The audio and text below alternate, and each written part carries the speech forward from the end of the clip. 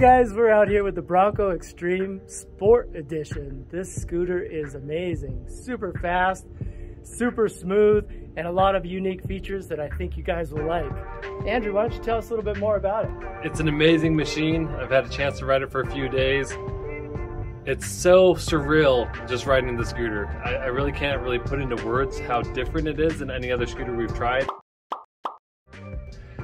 I truly believe the main difference is the sine wave controller. The 100 amp sine wave controller that's on this scooter is very quiet. Almost every electric vehicle we ride is extremely quiet, but this one is like stealth-like quiet. I'll get up to 50 miles per hour. Doesn't feel like I'm going 50 miles per hour. I can't hear any whining of the motors. And um, it's a little scary, but scary fun. That's what I like to say about it. It's got some awesome features about it. The suspension is one of the best things I've ever tried. Um, not only from the air suspension in the back, the DNM air suspension that you can adjust, the DNM hydraulic suspension in the front that you can adjust, and also the steering damper. So it's rock solid. I do speed tests all the time. I'm not afraid to go 50 miles per hour, but they're a little bit sketchy sometimes to go 50 miles per hour on some of these scooters. Where this scooter, when you hit 50 miles per hour, it feels very solid. The only thing that I would really knock on it is these um, the collapsible handlebars, which you can always change for a different type of handlebar setup.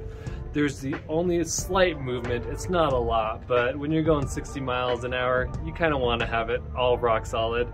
But I do love that they've made it so big and wide.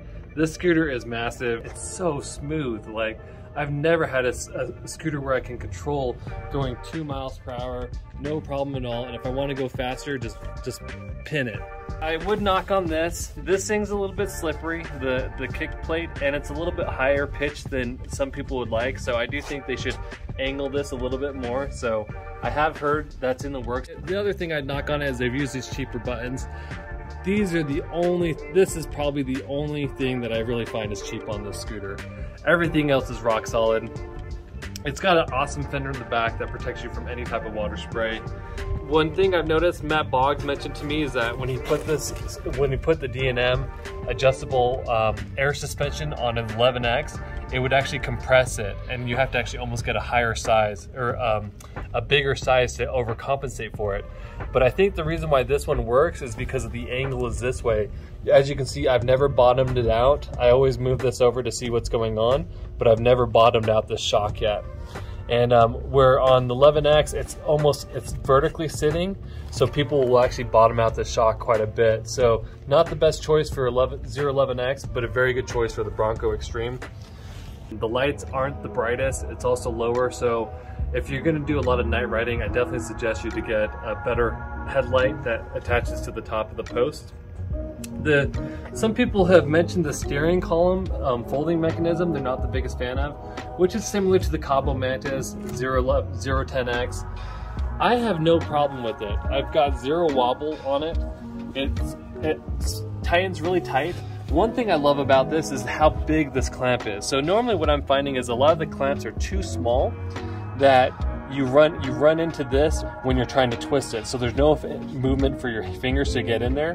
Where this I can actually really tighten it nice and tight and I have no problem getting my fingers in between here and twisting them rather than running into each other which I hate on the 010X and also on the Mantis.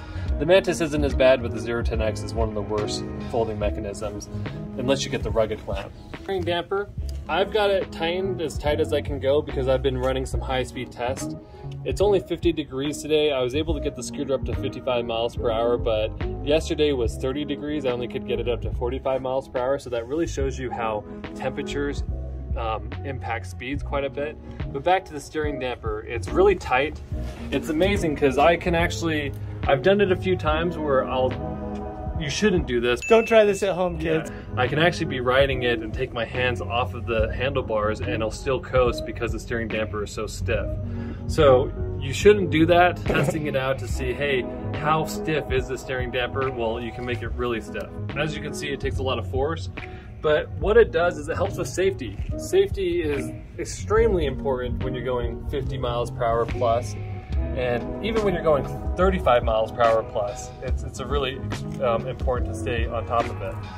So what it does is it prevents you from overcorrecting so when you do get in a crash, or if you do actually get the speed wobbles, you don't overcorrect because the steering damper is helping it out. It's got NUTT hydraulic brakes on here. Um, it's got 11 inch wide tires, or 11 inch in diameter tires and 4 inch wide. It's on a split rim. It is a tube in um, pneumatic tire, so they leave it for a split rim for easy tire changes. The braking is really incredible on it. It's got the XC handlebars, so they're collapsible, but they're not the not the my favorite on a scooter. How does that collapsing mechanism work? Um, it collapses pretty easily. oh, similar to the other just, ones we've just pulls off like this, and um, you basically just open it up like that, and it collapses in like that. And so, one thing that's really neat about it is it's extremely wide. It's a very wide handlebar. So, if honestly, for me, I would change this out for a solid handlebar choice. Another pitfall to this too is these things do rotate on you, but you can fix that with hairspray. So the trick is, either you get a different type of handlebar with um, Allen bolts that will tighten onto it so you don't have any type of movement, or you can just pull these off, spray a little bit of hairspray on it, stick it on there, and it'll stay where you want it to stay. So that's the trick for a lot of people out there. It's got a really different bell for it. You would think it'd have a big horn, but at the same time, those big horns that are on the Kaabo Wolf Warrior, they're awesome. They're great for cars, but they scare the crap out of pedestrians. So this doesn't sound like a 70 mile per hour scooter's coming towards your way. So that's what's good about it. What does that accessory button do for you? This is for the lights. So that's for the lights that are on the deck. But like I said, the lighting on the deck, it's not the brightest. It's not gonna be the best thing for night riding. I, I would definitely highly suggest getting a better um, lighting system. The other thing that's really nice is it locks into itself when folded. It weighs 106 pounds, so it's pretty heavy, but at least it does lock into itself when folded. The other thing about it, the other features that really set it apart is the 100 amp sine wave controller, 72 volt system. So it's got a max output of 80, uh, peak watt output of 8400 watts. And how you come up with that calculation is at a full charge, it's 84 volts times 100 amp controller, 8400 um, watts of peak power. So really impressive scooter. But like I said, is the sine wave controller is astonishing. It really is. It's bar none the best controller I've ever felt on a scooter. Um, I'm hoping to try out some other ones here in the future with sine wave controllers, but really, I couldn't really put into words how awesome this is. It's really just blows my mind, mind boggling sometimes when I actually ride the scooter because normally the other ones like a Kaabo Wolf Warrior, that's really quiet as well, but just so much more loud compared to this. So just a total different experience, even with the same tire, same, same, um, every, almost everything's identical, 72 volts. It is different amp hours. So this one is a 72 volt, 35 amp hour system, which equates to 2,520 watt hours. So it's a massive battery. Yeah, just a ton of fun, man. it's hard to really explain it until you actually get to ride it. Um, but luckily, we've been blessed to be one of the first American reviewers to actually give this thing a test. Set up for dual charging. This one came with a 5 amp rapid charger, and it's hard to tell you what's going to happen. So I was talking to Ben about it. On the website, it says it comes standard with a 1.7 amp hour charger, but um, not amp hours, but a 1.7 amps charger. And um, so they said that you can upgrade and buy a 5 amp charger, speed charger, but the first two that were sold in America came with 5 amp chargers. This one came to me with a 5 amp charger. So I think they're going to come with a 5 amp charger, but you're definitely going to have to check with um, Free Motion to see if that's just an added on what the added on one that they gave to us just for testing. But pretty sweet. You can charge it very fast having the 5 amp charger and then you can buy another 5 amp charger dual port dual charge it up and get it up to charge in maybe three hours that quickly. So that's really nice. You can go up to 80 miles with someone going 15 miles per hour and weighing 160 pounds which sounds about right to be honest with you. So at 15 miles per hour I do think you could probably squeeze that out of it. Me myself based off of my riding and kind of riding very fast and hard I'll probably get 30 to 30, 35 miles at range out of it, and I'll happily get 30 to 35 miles of range out of it. I don't expect to get huge numbers when I'm punching the gun the whole time. What scooter would you say that this is comparable to, or what should they look at if they're if they're looking for other models? What's comparable to this? I would say so. Just talking about off my head of what we've reviewed is like a 72 volt um, 011X, but that's going to be $500 cheaper. So you are going to get a little bit. Um, you're going to get a little bit of a discount to the compared to 011X, and the 011X is going to have two two stems on it, so it's going to be a lot of people like that. This is also going to be compared to a Kaabo um, a Kaabo Wolf King, which is another 72 volt monster. It's being sold right now at $3,000, but I have been told that the pricing should be increasing on those as well. So I think those will probably be retailed around $3,500 as well. Other comparable scooters is the Dualtrons. And I haven't had a lot of time on any Dualtrons. I've only ridden one. And so the nice thing is I do think we're gonna have an opportunity to, to, to demo out a lot of other Dualtrons here in the future.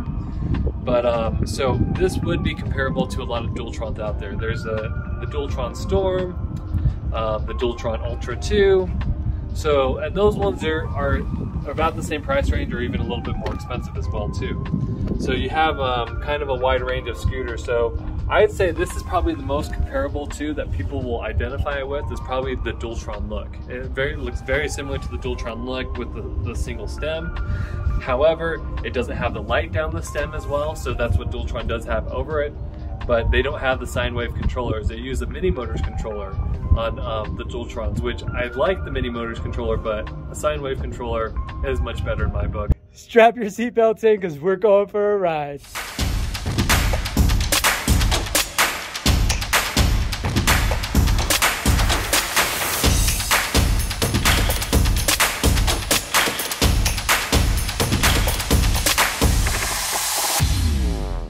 I'm not keeping up with him on the EUC sure.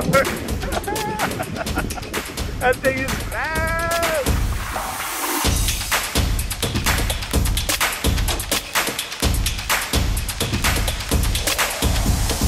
Okay, and we got there in 7.32 seconds, 0 to 50. Dang. So we did use a little bit of a hill as assistance, so it's not the most accurate reading, but still it's pretty insane that this thing can accelerate so fast. What was your top speed on that one? 56 miles per hour.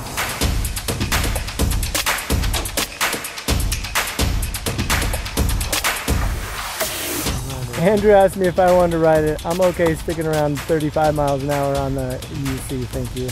Yeah. Crazy. It's awesome.